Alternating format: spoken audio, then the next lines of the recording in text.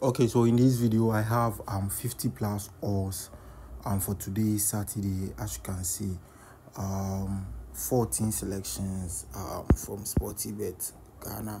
With winning bonus and everything we get um 64 odds yeah so these are the first seven games. So you can pause the video from liverpool west ham versus liverpool to fulham versus um crystal palace. And these are the second um, seven games. If you are using all the matches are handicapped, so yes. So this is the second seven games to make it 14. So if you're using a different website today, I think this will help. Yes, but if you're using Sportybet, um, this is the booking code for the 50 plus odds. Yeah.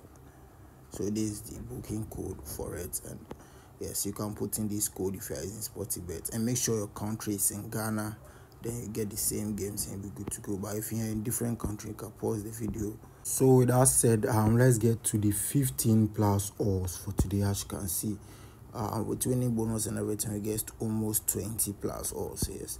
So um eight selections for sportybet ghana yes. Benmore versus um brighton that is the last match yes both teams to score. This is for the weekend, both um, Saturday and Sunday. Five games for Saturday and three games for Sunday, and we're good to go. So yeah, this is the booking code for Sportybet Ghana. If you are not in Ghana, make sure you put um you change your country to Ghana and put in the same code. You get the games. Yeah. So thanks for watching. See you in my next video. Bye.